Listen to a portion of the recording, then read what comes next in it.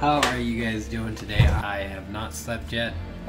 I mean, I have an engineering degree. I have two years of biology. I'm not qualified to do a TED Talks. Um, I would love to, though. That was actually one of my dreams. You remind me of Abed from Community Just Saying. I've gotten that a lot.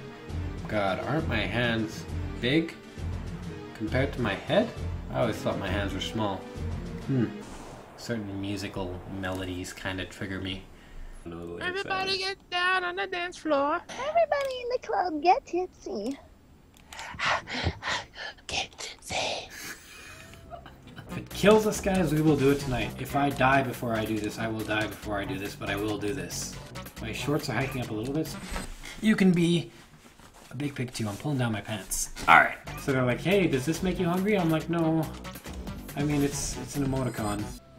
Imagine that we were Pokemon. Aya! Aya! Aya! Big one. Kangaskhan!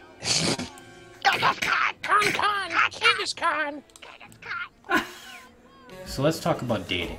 So we're gonna talk about the friend zone. God, I can't hit that. Why can't I hit that? So that's why I hate dating.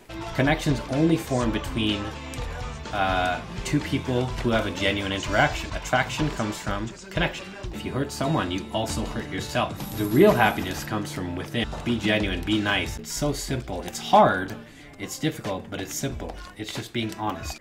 In In the the end, end, it doesn't even doesn't matter. even matter. oh man, Hendrik, let's Oh, go. Oh, oh Hendrik. Hendrik! Oh. Let's No, go. I'm. Oh. I absolutely love streaming. If I could do it for the rest of my life, I would do it in a heartbeat. In a heartbeat.